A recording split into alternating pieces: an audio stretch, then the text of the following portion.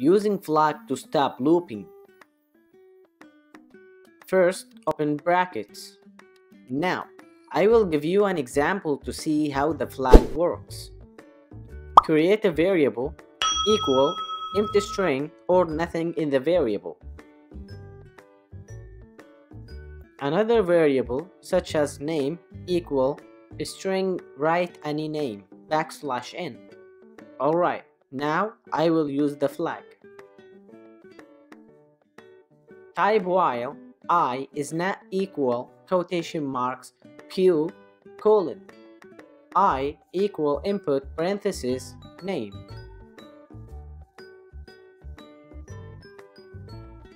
This means as long as variable i is not equal q, do the statement or the block of code that we did, which is i equal input parenthesis variable name.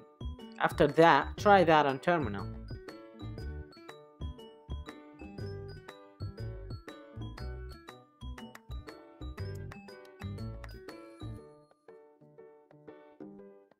As you can see, it says write any name I will write anything now. Just watch out.